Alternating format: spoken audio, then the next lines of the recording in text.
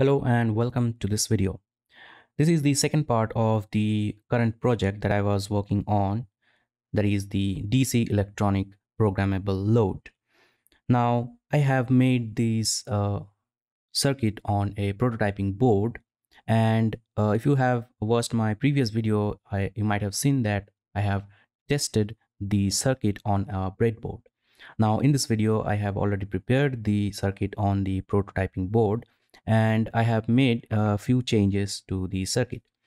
The first change is obviously I have used a, a bigger high power MOSFET which is IRF uh, 450 in this case but I was actually looking for the IRF 260 but I couldn't find it on the local store so I have to go for the IRF 450 for now. Then the obviously the second change is I have used a 0.1 ohm 5 watt resistance. Now this resistance is also a 5% resistance and I was actually looking for a 1% resistance but I couldn't find that so I have to go with the 5% resistance. So I uh, assume that it will work fine with the lower current values but uh, towards the higher current values I might be getting some sort of errors. But anyway I won't be measuring a huge amount of current through this electronic load. Probably I will go with a maximum of 3 or 4 amps not beyond that. So for my application, I hope it will be uh, quite fine. If not, I will uh, definitely upgrade this resistance with a better shunt resistance. Then the third change that I have done in this circuit is by using a DAC converter. In this case, it's a MCP4725. So this is a dedicated I2C DAC which actually has a 12 bit of resolution. So I assume that it will be doing a much better job than the Arduino's internal 8 bit DACs now obviously if you have looked my previous video I will put a link in the card here that uh, I have actually used this I2C ADC which is a 16 bit I2C ADC in my previous breadboard uh, testing video also and I have got quite a good result using this. So I assume that I will be getting a fair good amount of accuracy with this circuit as well. Now uh, I have used a huge heat sink with a fan also because uh, this is going to dissipate quite a lot of power in the form of heat. So it will definitely require a fan as well now this fan is not a pwm control fan. So uh, i was actually looking for a pwm control fan but i don't have it right now. So my future plan would be to uh, upgrade this fan as well because i have taken this fan from a old power supply unit and it's a little bit noisier. So i might be thinking about uh, replacing this fan as well. But for now as of uh, testing purpose it will work pretty fine then we obviously have this LCD and the rotary switch, which I have also tested in my previous video as well. And I have used this uh, DC connector to power the circuit. And for testing the load, the load current will be traveling through this port. So uh, I have already flashed the uh, microcontroller with the updated Arduino code, which I will be showing in a moment. But before that, I will be just showing you the circuit diagram. So here I have the updated circuit diagram that I uh, actually updated from the previous video. So here I have actually used the uh, DAC module, which is in this case the MCP4725 to actually convert the digital to analog signal. And then the analog output is fed to the op amp, which actually doubles the voltage value so that I can drive the gate voltage up to 10 volts. This is fairly a simple circuit that I have made. Now these blocks actually represent the module circuit as well. So if you have the module, you don't have to actually make the detailed circuit. You just have to connect to the respective pins. So the entire module I have uh, represented inside the rectangular boxes. So here I have the final code that I have updated using the uh, MCP4725 DAC.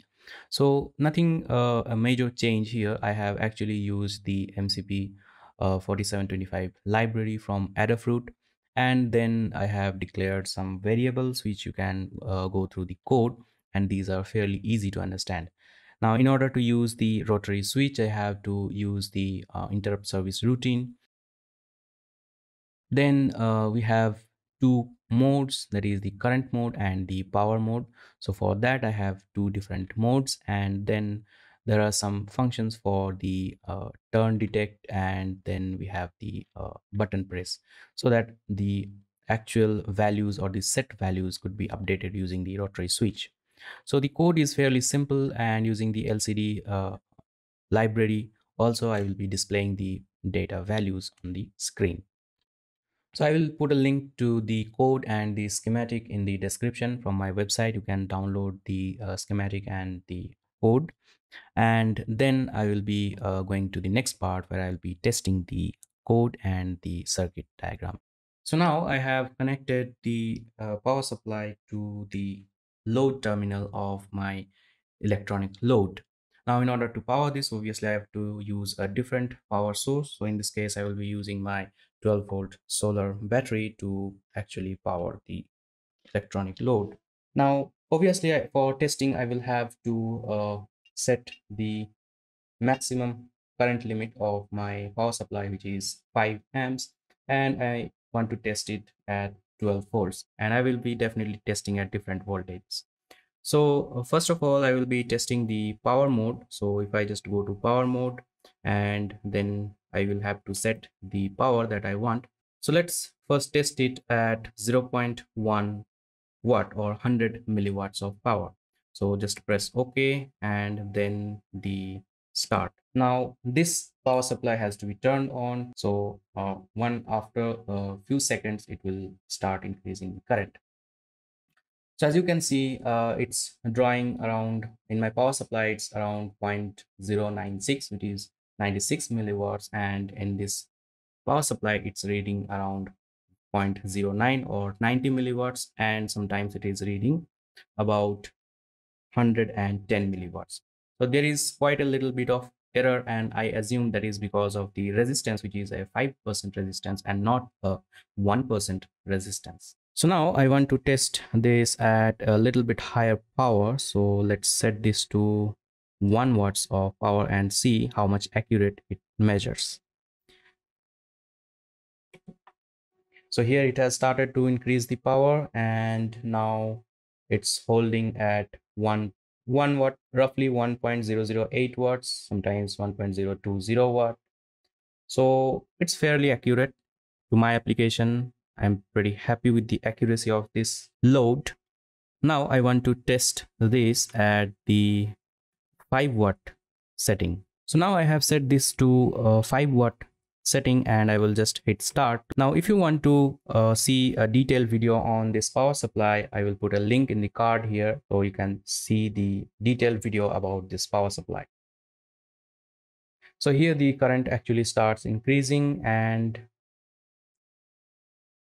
it's holding at exactly 5 watts of power. Now, in the power mode, I want to test by changing the voltage whether the current value actually changes or not because when I am at the constant power mode, it should actually hold the power constant, not the current, not the voltage. So by changing the voltage, I, I should see a change in the current. So I will just change the voltage to say 15 volts.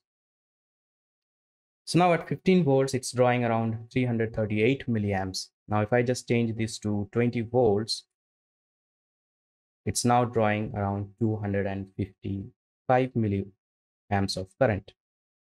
And now if I further increase the voltage to 25 volts, it starts drawing around 200 milliamps, 203 milliamps, which is exactly what it should draw. Now, if I just reduce the voltage to say uh, 5 volt, I should see a current of around 1 amps so yeah it's pretty much accurate at 1.013015 uh, like that. So now i want to test the current mode of this dc load. So i will select the current mode. Then i have to set the current value.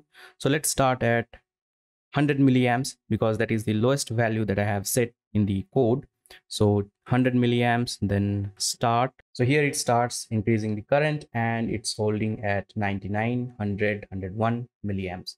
So it's pretty accurate and i'm getting around 1% of error in this range. So i'm pretty happy with that. Then i will be testing at say 500 milliamps and see how much accuracy we are getting so now the current starts increasing and we are getting around 500, 502, 503. So it's far more accurate than I expected it to be. Now I would uh, check whether by changing voltage the current actually changes or not because this is in current mode. So it will actually uh, regulate the current, not the power, not the voltage. So I should see by changing the value of voltage, the power should increase or decrease as per the voltage. So first I will just increase the voltage to say 10 volts and it's still drawing 500 milliamps of current. By changing it to 15 volts, even then it's still holding the same amount of current, which is fairly accurate. Then I will check at 20 volts as well and I'm getting around 10 watts and still it's 500 milliamps of current. Again, I will try to change at 25 volts. Again, we are getting a 500 milliamps of current. So it's fairly accurate and I will obviously test to the maximum limit of my power supply at 30 volts and see we are again getting 500 milliamps of current at 15 watts. So as I increase the voltage, the power also increases because it's now regulating the current and it's in the current mode. So I will just press stop and then I will start with a higher current value, say 1 amp. So at 1 amp, if I just hit start, so now the current actually increases and I have set this to 30 volts. So I will be expecting around 30 watt and it's exactly 30.1, uh, 30.2 watts. And it's holding pretty well the current limit that is 1 amp. So by changing the voltage, I should see a change in power. So at 25 volts, it's again holding 1 amp and 25 watts of power is dissipated by the MOSFET. So I have now set this load at 2 amps and I will hit start. So now the current in starts increasing and it's set at 2 amps. So let's see what we are getting. So it's holding at 1.9899 amps, which is fairly accurate at this range because I am using a 18 gauge wire to connect this. So I would expect some uh, voltage drop across these connecting wires. So at higher currents, I will be getting much more error, but that is fairly obvious because of the uh, wire resistance. So now I have set this at 3 amps and I will hit start so now the current starts increasing and it's at 3 amps. So I'm getting around 2.8687 amps of current in my power supply. And that is because obviously the wire resistance because while the voltage travels from this power supply to the load it actually drops. And to my experience the the electronic load is fairly accurate so I will just use this to test my different power supplies and different power supply modules. So if you just uh, like the project and if you uh, want to make your own DC electronic load, you can just download the schematic and the code from my website. I have link in the description. So make sure to uh, subscribe to this channel if you like my work. If you want more videos like this, definitely you can uh, comment in the comment section and if you want to support there is a link to support me as well. So if you are willing to support that also you can do. So thank you very much for watching. Have a nice day